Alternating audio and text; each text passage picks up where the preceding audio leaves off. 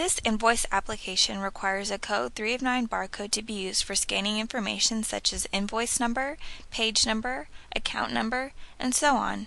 To create a 1D barcode, a variable needs to be defined that basically transforms a data field that contains the desired information into a barcode.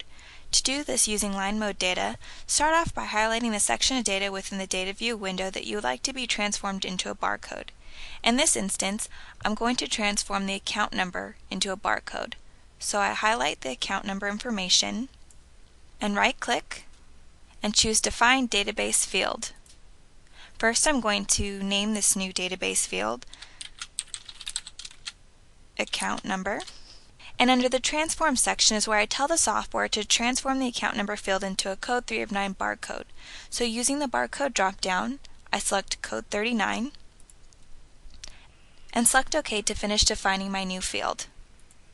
Next I select the field that I just created from the Select Field Name drop-down and place it on my page. The last step in creating a barcode is applying the font. So with the variable selected, using the font drop-down, I select my desired font.